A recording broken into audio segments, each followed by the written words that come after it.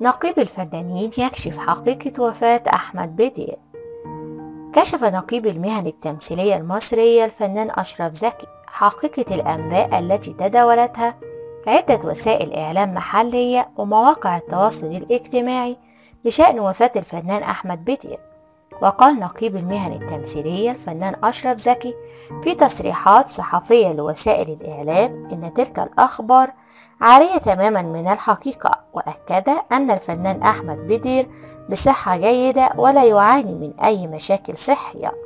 وجاء نفي الفنان أشرف زكي لخبر وفاة أحمد بدير بعدما تردد في الساعات الماضية على بعض صفحات مواقع التواصل الاجتماعي خبر الوفاة. ويشارك الفنان أحمد بدير في الموسم الرمضاني الجاري في مسلسلين الأول هو مسلسل المداح أسطورة الوادي مع النجم حمادة هلال كما يشارك النجم أحمد بدير في مسلسل الاختيار ثلاثة والتي تدور أحداثه حول الأحداث السياسية التي شهدتها مصر على مدار السنوات الماضية.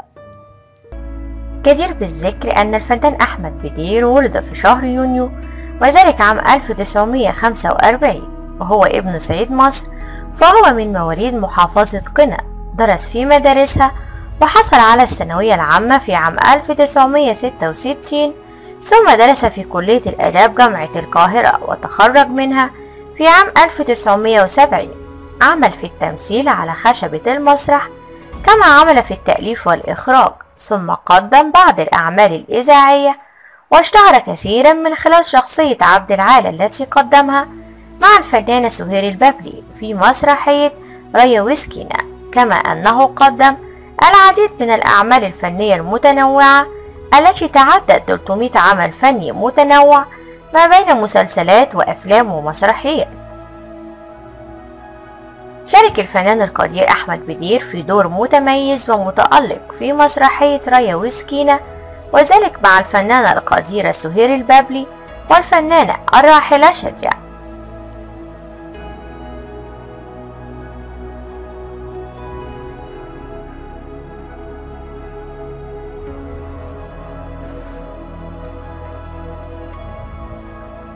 بدأ الفنان أحمد بدير مسيرته الفنية على خشبة المسرح عندما شارك في مسرحية كومبارس وتم عرضها في عام 1968 ثم توالت أعماله الفنية بعد ذلك فشارك في مسرحية ريا وسكينة وهي من أشهر أعماله. كذلك كان له أدوار متألقة في السينما والتلفزيون شارك أمام كبار النجوم وقدم دور متميز أمام الفنان أحمد زكي في فيلم العوامة رقم 70 وذلك في عام 1982 وفي التلفزيون شارك الفنانة فيفي عبده في مسلسل يانا يا انتي. وتوالت الأعمال الفنية.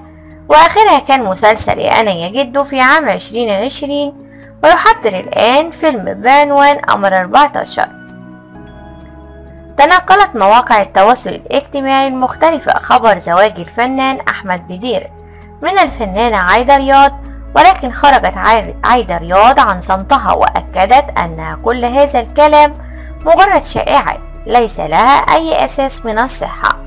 وأنها لم تتزوج في حياتها سوى الفنان الراحل محرم فؤاد وقالت أن علاقتها بأحمد بدير لا تتعدى الصدقة وتابعت زواجي من أحمد بدير شائعة وسيبوا الراجل في حاله وعنده أولاده وهم مش من النوع الشقي وأنا بحب الراجل الشقي.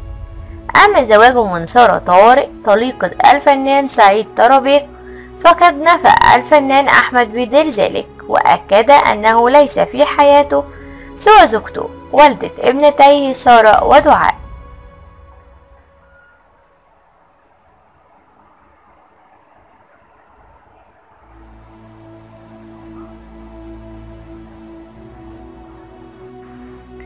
عبر الفنان أحمد بدير عن دهشته من الشائعات التي تنتشر كل فترة على مواقع التواصل الاجتماعي وتزعم وفاته موضحا أنه يتجاهل الرد عليها ولا يحب أن يعرف تفاصيلها وكشف عن انشغاله بتصوير فيلم جديد.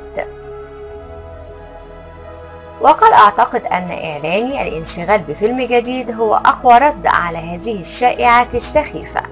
فأنا أصور في الوقت الحالي فيلما جديدا ولا وقت بي بالإهتمام بهذه الشائعات السخيفة. تحدث أيضا الفنان عن فترة انتشار الكورونا وقال لا أخرج من منزلي وأنا بيتوتي بالأساس لذا لا أشعر باختلاف خلال حظر التجوال حيث أمارس حياتي اليومية بشكل طبيعي وأحب التعاون في المنزل لدرجة أنني أدخل المطبخ لأحمل صينية الطعام بعد الانتهاء من إعدادها لتقديمها على السفرة. تداول رواد مواقع التواصل الاجتماعي الابن المصري الفنان المصري أحمد بدير سارة. سارة ظهرت في عدد من الصور مع والدها الفنان ونشرت له صور أخرى وهي بمفردة. لاحظ الجمهور جمال ملامحها التي في الغالب ورثتها عن والدتها ونصحها البعض بدخول الوسط الفني.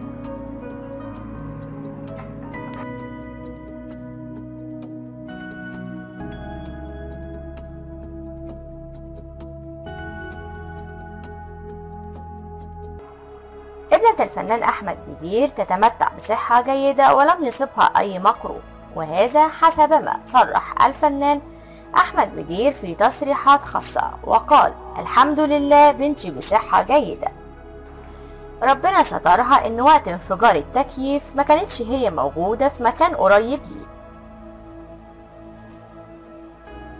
يذكر أن سارة بدير كشفت عن وقوع انفجار في منزلها وذلك من خلال بوست كتبته عبر صفحتها الخاصة على موقع فيسبوك مصحوبا بعدد من الصور وقالت الحمد لله خفي الألطاف الذي نجانا من المهالك ومن سوء المنقلب ولطف بي أنا وبنتي في اللحظة المناسبة من حريق كبير في شقتي بسبب انفجار مكيف وإحنا نايمين امبارح.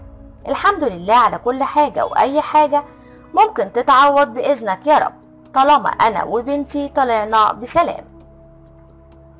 تابعت حديثها قائلة خلي بالكم قوي من التكييفات يا جماعة خصوصا اليومين دول وبلاش تناموا وأنتم مشغلينها وربنا يسترها علينا وعلى أهالينا وعلى ولادنا جميعا يا رب.